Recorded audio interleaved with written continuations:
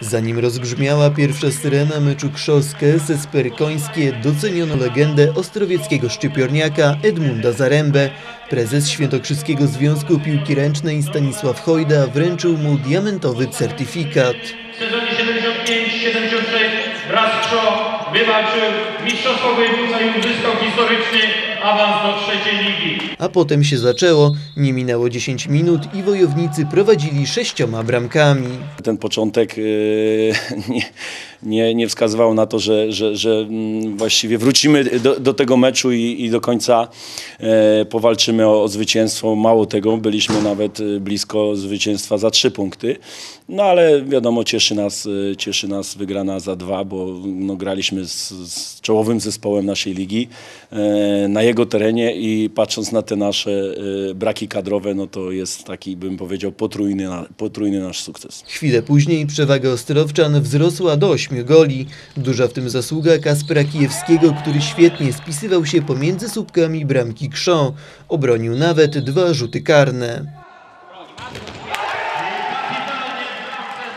Staram się bardzo e, reprezentować się i barwy jak najlepiej. Chłopaki mi w tym pomagają i udaje się to wykonać. W 15 minucie zawodnik KSS Perkońskie Łukasz Sękowski, wykonując rzut karny, trafił Kijewskiego w głowę. Sędziowie uznali to za niesportowe zachowanie i ukarali go czerwoną kartką. To nie jest najprzyjemniejsze uczucie dostać taki mocny rzut w głowę. Na szczęście nie było okolicy nosa, tylko bardziej na czoło. No ale niestety nie jest to przyjemne. Na przerwę szczypiorniści Krzo schodzili prowadząc 15 do 10. Pierwsze 25 minut w naszym wykonaniu bardzo fajne. E, Mamy plus 7.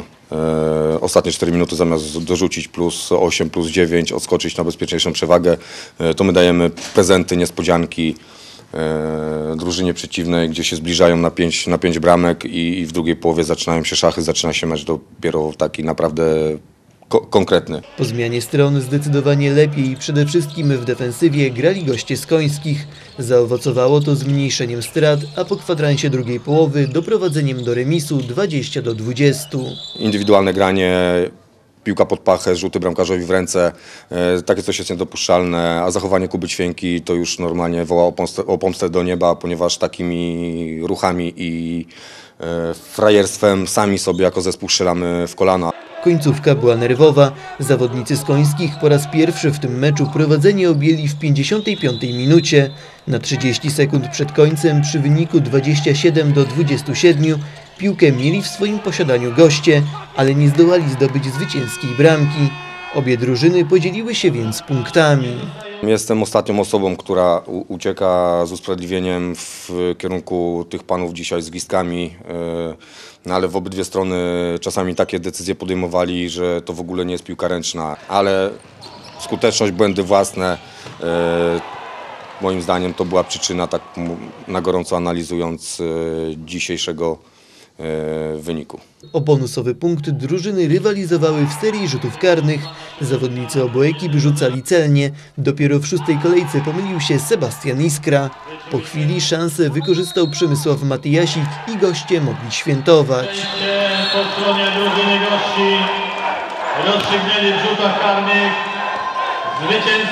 Intuicja moja mm, e, była, że, że te karne będą, bo, bo rozpisałem tak naprawdę przed meczem, e, kto będzie te karne rzucał, więc e, gdzieś tam, no e, Łukasza Sękowskiego jeszcze miałem do tych rzutów karnych, więc tutaj jedyna osoba, którą zmieniłem, e, natomiast no, gdzieś tam czułem, że, że może się to skończyć karnymi i, i gdzieś to e, ta intuicja mm, e, się sprawdziła, no i może też to też miało wpływ na to, że e, faktycznie w wczorajszym dniu sporo żeśmy na, e, ćwiczyli e, te rzuty karne. W środowy wieczór nie tylko liczył się sport. W przerwie spotkania wystąpił zespół tenorów z Lwowa, a na trybunach przeprowadzono zbiórkę pieniędzy na rzecz Ukrainy.